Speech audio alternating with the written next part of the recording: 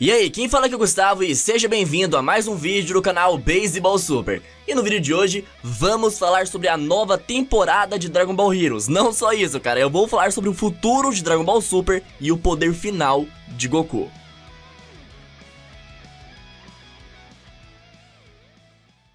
E para começar esse vídeo da melhor forma possível, vamos fazer uma análise completa do novo trailer da nova temporada desse anime promocional que é o Dragon Ball Heroes. Mas antes, é melhor a gente relembrar o que diz a sinopse dessa nova saga, que eu arrisco dizer que vai ser a melhor temporada desse anime promocional. Vai dar um pau na saga anterior do Hatsu. E, cara, o que diz é o seguinte, os próximos inimigos serão os deuses da destruição. E o que é essa árvore gigantesca que apareceu de repente no espaço sideral? Surge surge uma nova crise, com batalhas e aventuras para Goku, Trunks e os outros. A espera acabou. A missão do Big Bang finalmente começa. Eu acho que não precisa explicar muito sobre essa sinopse, pois ela mesmo já entrega o que vai acontecer nessa temporada. É algo bem simples de entender. Então, vamos ver o que tem nesse novo trailer que saiu ainda hoje, tá bem fresquinho. Eu já tô trazendo a análise para vocês. Vamos associar as informações da sinopse com as informações que o trailer nos dá. Então, basicamente, conseguimos ver de primeiro o Goku e o Vegeta é, com uma nova roupa, vestindo o, o um, traje diferente. O Goku vestindo laranja e preto e o Vegeta azul e branco, bem semelhante às roupas que eles utilizaram lá no Ressurreição de Freeza, com pequenas alterações na roupa de baixo do Goku e algumas alterações no traje do Vegeta. Um detalhe interessante é que parece que nessa cena eles acabaram de conhecer o passarinho Toki Toki, que eu já mencionei aqui no canal ser bem importante para a existência dos universos. E cara, esse bichinho, esse passarinho aí, ele foi um dos principais objetivos dos deuses demônios por por muito tempo em Dragon Ball Heroes. Cara, de repente,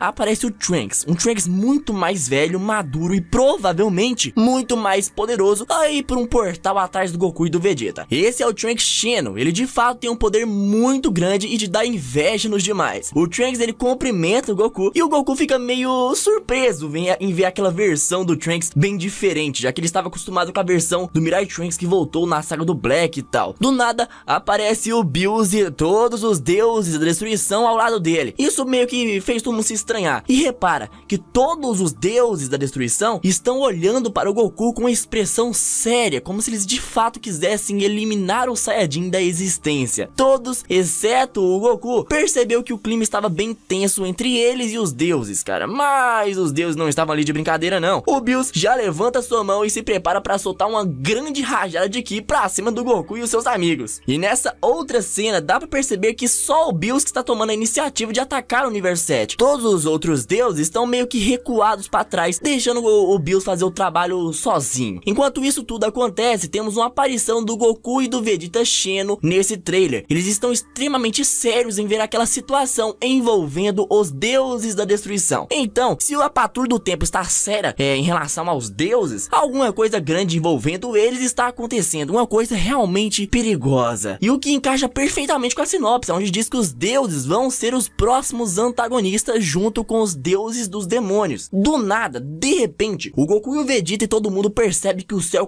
começa a ficar escuro, totalmente escuro, umas raízes de árvore começam a aparecer no céu. E a raiz daquela árvore mencionada na sinopse aparece por todo canto. E na próxima cena, a gente consegue ver a árvore completamente, cara. E essa árvore está conectada a seis lugares diferentes. Eu arrisco em dizer que a cada portal desse aí representa um universo universo diferente. E que por mais que a gente só consiga ver seis deles nesse nessa ceninha aí, na verdade a árvore está coletando energia de todos os universos. A gente só não conseguiu ver os 12, mas provavelmente está conectado a todos os universos. É uma teoria minha, mini teoria aqui, hipótese que pode sim acontecer. E de alguma forma, essa árvore está fazendo com que os 12 Hakaishins se virem contra o Goku e ajudem o Fu a realizar o seu plano. Falando em Fu, a gente consegue ver que tudo isso realmente é plano do, do demôniozinho, cara. A gente consegue ver o Fu do lado daquela árvore. E agora, sem dúvidas, é a melhor cena desse novo trailer. A revanche de Goku contra o Bills. O Goku vai pra cima do Bills usando todo o seu poder, todo o seu máximo do Super Saiyajin azul. Mas facilmente é jogado para trás com um só golpe, perdendo sua transformação. Vale lembrar que esse trailer ele conta resumidamente o que vai acontecer. Ou seja, se durou um segundo essa luta do Bills contra o Goku, no anime pode durar 8 minutos ou até mais de um episódio. Como foi o caso da luta do Hatsu contra o Goku, que no trailer durou poucos segundos segundos, mas no anime durou muitos episódios. Ou seja, vamos ter uma revanche do Goku atual contra o Bills. E cara, o Goku na saga passada ativou muitas vezes o Migate no Goku. E ele fez isso do, depois do treinamento que ele teve com o Daishinkan. Aparentemente, ele está conseguindo ativar com muito mais facilidade é, o Migate Goku agora que ele treinou com o pai de todos os anjos, do que quando ele usou contra o Jirei no torneio do poder. Ou seja, pode ser que a gente assista no anime uma luta do Goku com cabelos prateados após treinar com Daishinkan, enfrentando o Bills ou talvez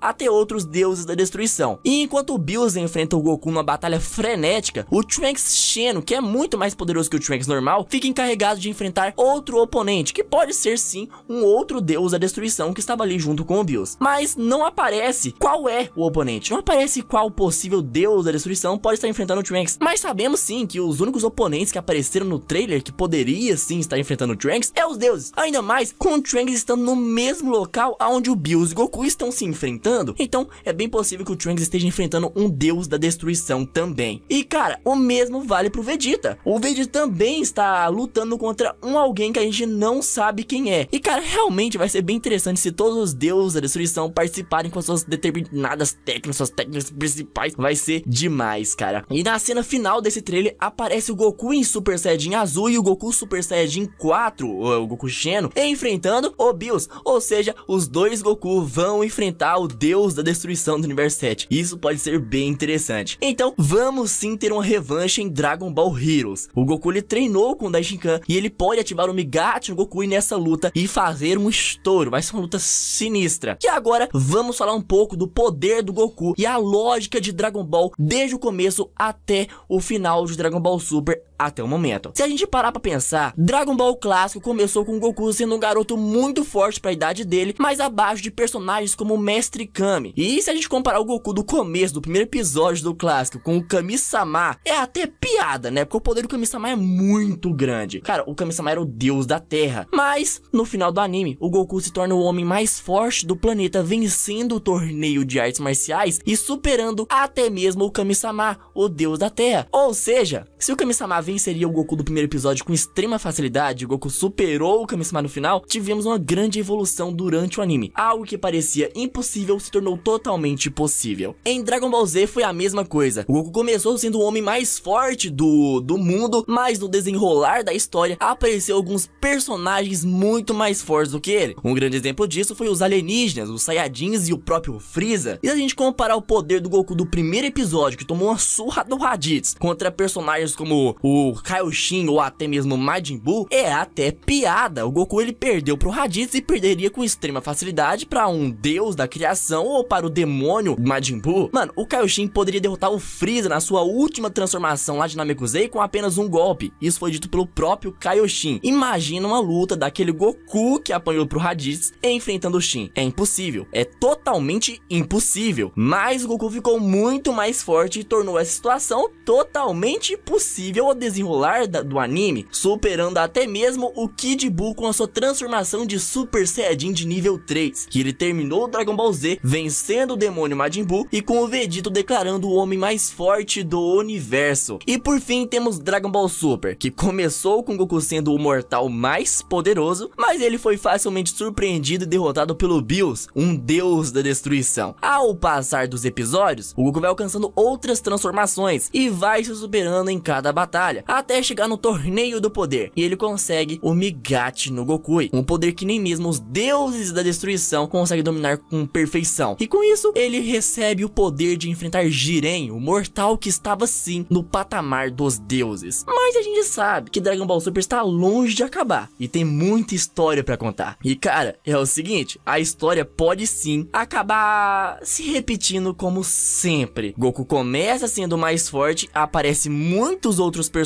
mais fortes do que ele inalcançáveis durante a história. E no final, Goku dá um jeito de terminar o anime sendo mais forte de novo. Se isso se repetir até o final do anime de Dragon Ball Super, o Goku vai ter uma forma tão poderosa que até os anjos e Daishinkan vão ficar para trás, pois hoje eles são inalcançáveis, assim como uma comparação do Majin Buu com o Goku do primeiro episódio de Dragon Ball Z. Cara, a gente pode até debater quem é mais forte hoje em dia entre Bills e Goku, mas daqui a alguns anos pode ser que essa batalha já não faça mais sentido, seja muito desequilibrada e com vantagem total para o Goku. E essa revanche do Deus e o Saiyajin só vai acontecer no Dragon Ball Super pra mostrar que o Goku superou o Bills. E agora em Dragon Ball Heroes a gente vai ver uma revanche sim, não oficial do Goku contra o Bills, mas pode ser que essa revanche é, dê a vitória para o Bills, Diferente do que pode acontecer no futuro em Dragon Ball Super, onde Goku sempre vai ser o mais poderoso no final da obra, porque esse é o objetivo do Goku. Assim como Naruto queria se tornar o Hokage no final conseguiu, assim como Luffy quer se tornar o rei dos piratas e no final provavelmente vai conseguir, porque é um anime shonen. Então,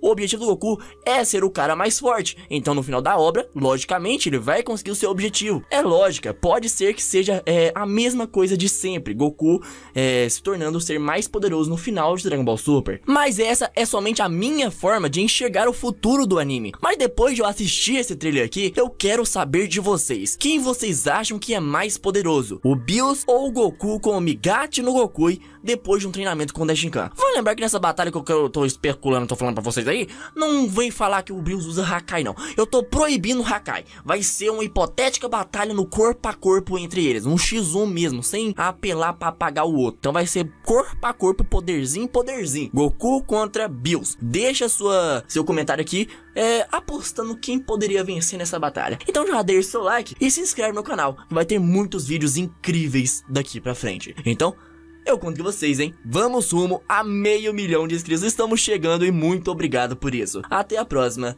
Fui!